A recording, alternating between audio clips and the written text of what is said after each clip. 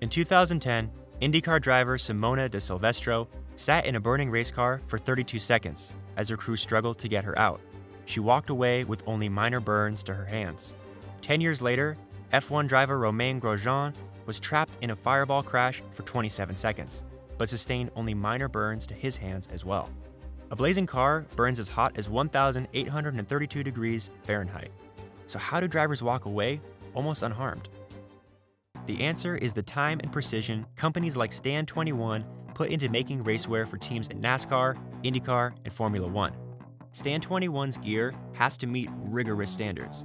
For example, the FIA, which owns Formula One and the World Rally Championship, requires suits to be able to withstand at least 12 seconds exposed to flames before the wearer experiences second degree burns. These types of standards required Stand 21 to be meticulous in its gear's construction and always researching new ways to improve it.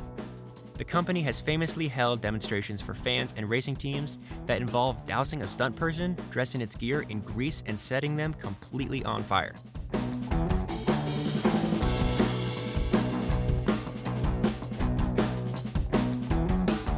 Company General Manager Romain Morizot has even participated to show just how committed to safety and confident in its gear the company is. To make its fire suits, Stand 21 starts by measuring drivers' height, weight, arm length, chest circumference, and more. Then, workers use computers to construct a pattern or template. It's made up of individual pieces that together comprise a racing suit. The template is printed, placed over the fabric, and used as a tracing tool to hand cut the pieces of the suit's outer layer. This fabric is made of Nomex, the same flame-resistant material worn by firefighters and military pilots. The pieces of this outer layer are then machine embroidered with team names and sponsors. The inner lining of the suit is made of flame retardant mesh, made to provide extra protection as well as comfort.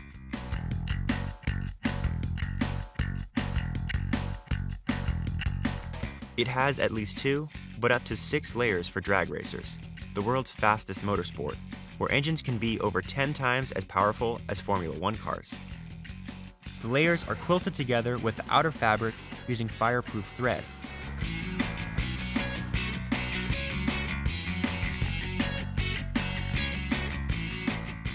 Then the entire suit is assembled with fireproof structural stitches. A suit from Stand 21 takes anywhere from 4 to 8 hours to assemble. While the colorful suits may be the main attraction, they are accompanied by shoes, socks, and underwear, all made with Nomex. Even the helmets are fire resistant, featuring flame retardant inside liners, visors, and paint. Building them takes 7 to 10 days.